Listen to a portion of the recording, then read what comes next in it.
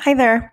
In this video, I am going to quickly show you how to use Vocaroo.com to record your voice and uh, download it and then add it to a Google Doc.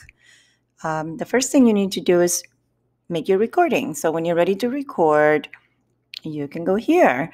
So I just want to say good morning. So when I'm ready to say it, go here, good morning. And I didn't like the way that sounded, so I'm going to do it again. Good morning and then play it back to see what it sounds like. And if you like the recording, save and share, download, and then you can dedicate a folder in your computer for it. So I have my voice recordings and then give it a title so you know what it's called. So I'm just going to call it Good Morning. And then it'll download here. I'm going to minimize this window and hide this. So down here, you see the recording. Now, how to add this to the Google Drive?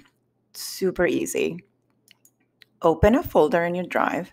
So I have a folder here that I dedicate to my recordings. So you open that folder and then drag and drop, and it will automatically convert to the Google Drive format.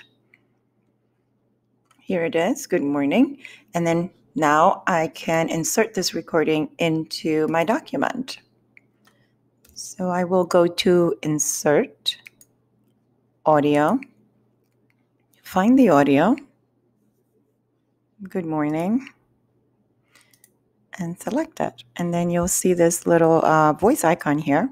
And you can move this anywhere you want. You can also make it bigger or make it smaller.